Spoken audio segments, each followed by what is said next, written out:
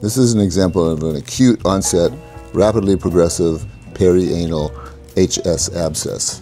You can see how deep it is, and there's very little gelatinous biofilm. It occurred and progressed in just a matter of days, and it had to be opened up or else it would have gotten even more profound.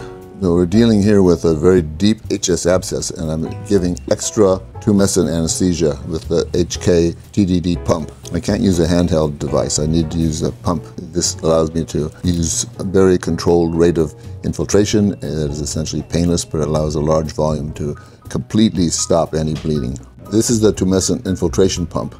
No name involved for local anesthesia. This demonstrates the use of a tumescent infiltration pump for delivering large volumes of tumescent epinephrine, lidocaine, B12, ertapenem, triamcinolone, and sodium bicarbonate to achieve painless and bloodless excisions of deep penetrating HS abscesses.